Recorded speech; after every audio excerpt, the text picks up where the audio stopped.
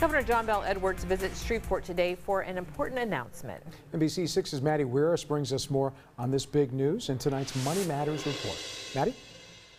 American Electric Power is building a new transmission control center right here in Shreveport, and you may be wondering, what is that exactly? Well, the facility will oversee the reliability of the electric grid for seven companies all the way from Canada down to the Gulf of Mexico. And this comes as we approach the one year anniversary of the winter storm, which showed us just how vital these power grids are.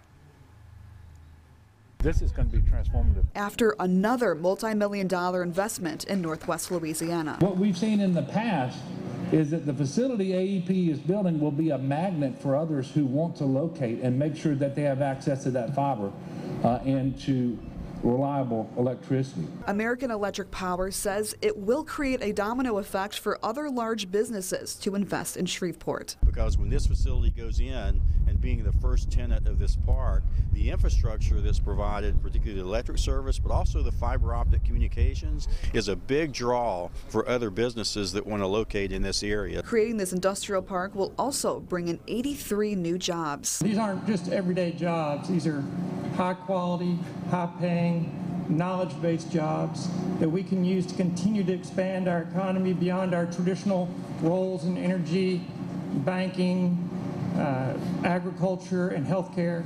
So it'll be great to use this as a catalyst to continue to grow our, our economic development picture and our knowledge-based economy. And it helps that the CEO of AEP is from Bossier. It's very gratifying because you know the level of investment that's being made and what it can do for the community. The disastrous winter storm last February highlighted the need for more resilience in making sure electrical grids don't fail. Particularly at times like this. We don't know what the weather is going to do at any particular time, but cold weather, heating goes up, uh, people use more electricity, and we've got to be able to respond uh, in a credible fashion. And this is one of the facilities that is instrumental for us to be able to do that.